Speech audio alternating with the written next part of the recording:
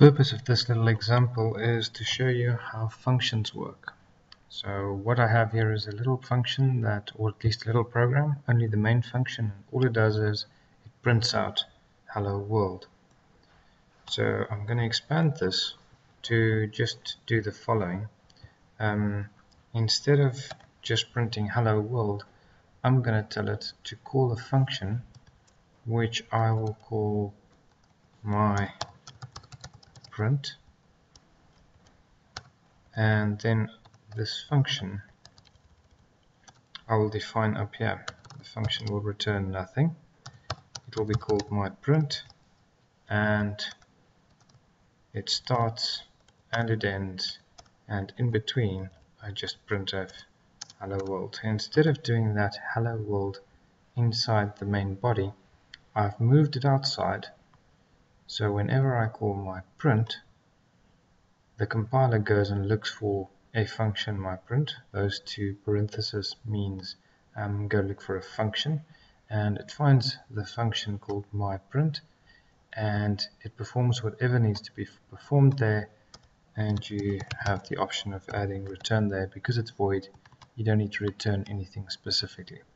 So if I run this the output is exactly the same. So it reaches this point and at this point it calls the function and the function performs hello world.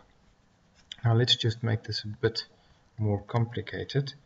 Um, let's say that I have an integer called value. Its value is 5 and I have another one with the um, with the name result and it doesn't have a value just yet and all I'm going to do now is I'm going to print out percentage d um, to the power 2 is equal to percentage d. So I'm just going to say val to the power 2 is equal to res and res I'm just going to say is equal to val times val. Alright so you can see I'm not calling the function anymore. I'm just doing something silly here. And the something is just saying 5 to the power 2 is equal to 25 nothing weird. Now what I want to do is I want to send something to my function. So I'm just gonna I'm not using this function anymore. I'm gonna rename it because what I'm gonna ask it to do is calculate the square. So I'm gonna call this my sq it will calculate the square of a value that I'm going to send it. So the value that I'm going to give this function is of type integer and I'm going to call it v. So this function will calculate the result or at least will calculate the square of v. Now as an intermediary step let's just do the following. Hello world uh, let's do this printf let's just move it up here into the function and this will now say v squared is equal to and then something and I'm just going to do this as well. And now it's v times v. This is the value that was declared here. It's passed into the function. The function does v times v.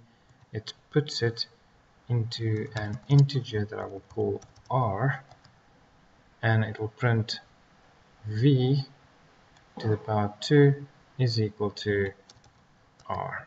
So if I run this, what happens is um, main will start to execute and then I call the function mysq, my square, and I give it this val and obviously I don't need res anymore so what now happens is my square is called the value of val and that's quite important to understand. The value of val is copied and it's pasted into v here. So the function my, my sq is called and then the value of 5 or the 5 the value of val is copied and pasted into v. Val here is unaffected and it lives on here in a new variable called v. So then inside this function I have an integer r and r is equal to the square and I just print that out. So let's just see what happens if I execute that. So when I execute it, the function is called and it prints out exactly that there. What I can now do is I can take this a step further. Let's say I now want this to return the result, which means I say my function returns an integer. That means I need to return r.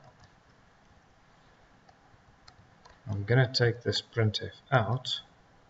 So this will just calculate the square and return it as an integer. So in here, I want to print the result and I need to call mysq and send it the value val and then I need to store the result which is passed back through that as an integer there. Result is equal to that and I need to just declare that integer again res. So what happens is I have an integer val and an integer res that lives inside main. Then I have an integer r and an integer v which lives inside my square. And v we call that a parameter it gets its value from outside. Whoever's calling the function gives it a value. So this says the result is equal to perform the function give it this value called val just take that value and paste it into my SQ and that um, copying and pasting is called passing. so pass that value to my SQ do whatever it needs to do and then return it returns something called r which must be of type integer and that value is then plonked back back into result res. Over here I can print the result